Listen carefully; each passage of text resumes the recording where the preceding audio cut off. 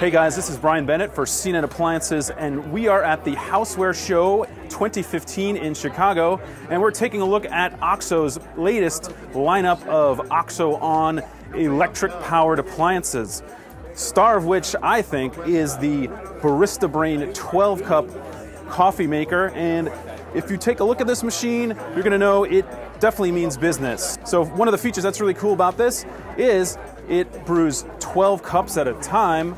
You can also uh, basically set how much will brew depending on how much water you put in. There's a scale in the bottom. You can also set the temperature so you know exactly how hot your water is going to get.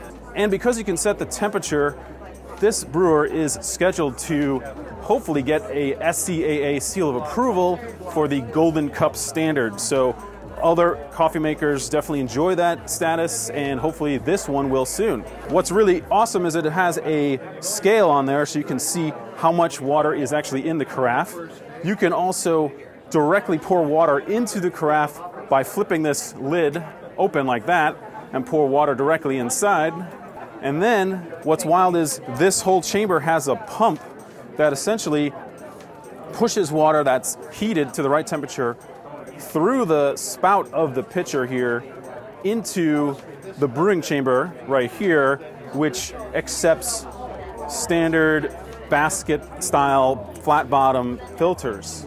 It also is big enough to accommodate the amount of coffee grounds that you'll need to get the right concentration and correct extraction that the SEA will recommend. So if you want to get your hands on the OXO Barista Brain 12 cup coffee maker, you're going to have to wait until the fall of 2015. It will have an expected price of 299. I'm Brian Bennett for CNET Appliances.